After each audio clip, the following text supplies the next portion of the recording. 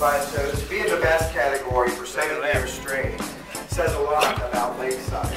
It's a great organization.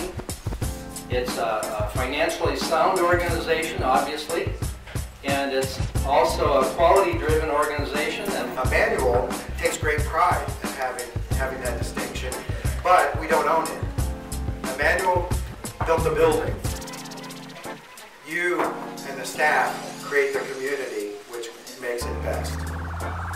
With that, I congratulate you. What's your favorite thing about living and working at Lakeside?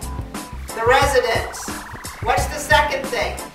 That my coworkers and the employees. What's the third thing?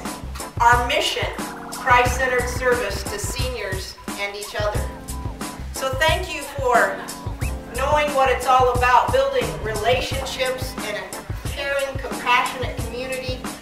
want to serve you. And thank you to the staff for making it the best of Omaha, and thank you to you for choosing to live at Lakeside. I'd just like to say congratulations to Lakeside for winning the Best of Omaha. And this is Dorothy, and she's one of our residents here, and we're just happy to have you.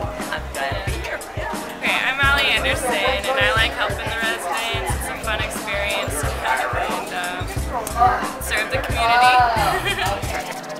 server here, you get to meet a lot of uh, students from other schools, and it's just a lot of fun. And you get to meet a lot of the residents and stuff too. So, congratulations,